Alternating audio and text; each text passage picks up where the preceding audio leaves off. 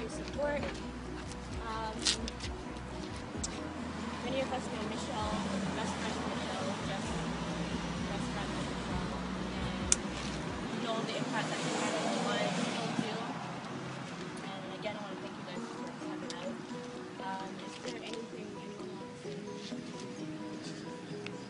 driving down today, seeing you I know she's watching and she's laughing that crazy laugh of hers and she'd just be going nuts right now.